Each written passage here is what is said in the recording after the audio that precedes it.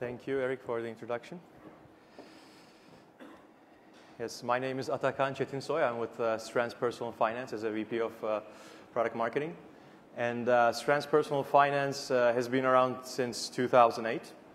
We initially built a PFM solution for uh, our investor, BBVA, a large bank in, in Spain that was launched uh, in the same year. And it was very well received. And uh, Forrester Research actually came up with a case study showing it as a great example of a PFM implementation in Europe in 2009. Later on in 2009, in March timeframe, we launched our direct-to-consumer uh, site called MoneyStrands. And up to date, we have been able to get a registered user count of 170,000 people. And uh, we have gone on to uh, also implement a PFM solution recently that's launched this year for a large bank in Netherlands. And we are in the midst of implementation for several, several, several other large banks in North America and, and Europe. So we've been getting some great traction. Part of the success of uh, our B2B uh, uh, side, I think, is uh, definitely uh, dependent on the feedback, the customer feedback we're getting from our MoneyStrands.com users. So that's letting us innovate faster and, and iterate faster. So today I'm going to show you the, the new design of the first major redesign, a sneak preview, if you will, of MoneyStrands. This is our new look and feel. As you can see, it's a pretty clean uh, look and feel that's more compact. We've eliminated certain uh, tabs to, to make the navigation easier. We're now using some sub-menu structures, grouping like use cases together. Uh, all of these things that uh, you see on the screen, the different areas, are still actually widgets, and they're portable to, to other kind of shapes uh, that, that we can uh, develop for you. Uh, and um, as you can see here, some of the best features we've kept. You can still add new banks either through automatic aggregation or by manual file uploads. You can uh, set a number of alerts. We actually support eight different kinds of alerts, such as large deposits.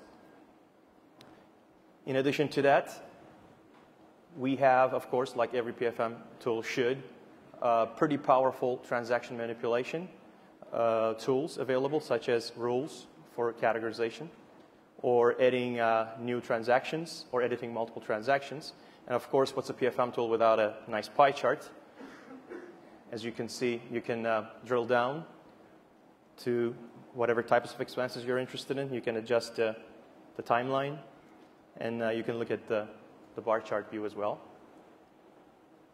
So this is all fine and dandy, but uh, we didn't stop there, of course. Uh, as we have been evaluating uh, new features and functionality that our users on MoneyStrands have been asking for repeatedly, we came across the, the, the, billing functionality that was much um, asked for. And uh, this is a, a, nice build calendar view. As you can see, uh, now MoneyStrands users can uh, actually um, account for their recurring expenses. And uh, the color codes actually stand for paid or unpaid or approaching bills. We also provide a weekly view. And we also have a list view where we give the user a pretty good understanding of what's coming in the next 30 days versus what's happened in the last 30 days. So it's very important, for, we believe, to be able to integrate your bill pay solution into uh, your, your PFM tool. And so we have now the, uh, the place to, to host it, if you will, within a PFM implementation if you're considering it.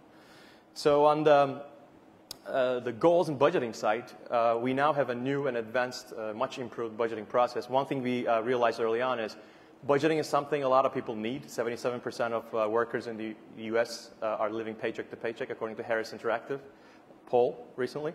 And uh, yet, people are scared from it because it's been uh, traditionally a very cumbersome experience. So we set out to really change that. We've listened to a lot of user feedback, gone through ma many uh, iterations. Now we have a four-step wizard process, which starts by uh, accounting for your income. A lot of people don't have too many sources of income, so this is a rather quick step. In this case, our test user, Monica, has uh, $4,200 in income from her salary. And um, in the next step, we're accounting for expenses. We already have this data in our system. So we're looking at areas where actually can cut back most on. As you can see, something like uh, rent is actually a, a, big expense, yet it's not easy to cut back on. So it's not by default checked. And she already has some um, items that she's looking to budget for, but if she chooses to, she can always add uh, new items. For example, Monica, in this case, is an avid traveler, so she wants to uh, add uh, travel as a budget category. And we're going to click that and go to the next step. And that's where things get uh, more interesting, actually. Uh, one of the challenges, of course, is when people are asked to guess what amount they want to budget, um, you know, they usually find that uh, like a big chore and they try to um, move away from it. And that's where I think a lot of the fall off happens. So to avoid that situation, we kept it simple. We wanted to basically uh, focus, make them focus on what do you want left at the end of the month. Just tell us that. Is it 5% of your income? Is it uh, maybe 7 8%? And while you do that, we're adjusting the target amounts that you need on the side. So if you don't like one of the things that we made the adjustments on, you can always say, lock this, put in your own number, so we will stop messing with it.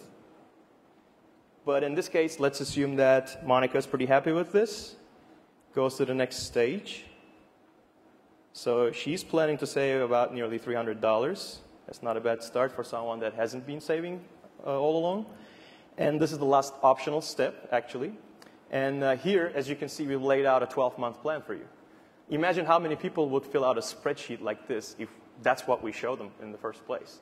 Uh, I think we all know that only the obsessive compulsive types would, would go for this. But we're here in this to make this plan even more accurate. We do realize there are certain expenses that fluctuate over time. And in this case, let's assume that Monica's looking forward to her uh, trip to New York to see her family for Thanksgiving. So let's say she wants to budget $500 that particular month. Let's save this amount. Now, as you can see, the savings rate is also adjusted.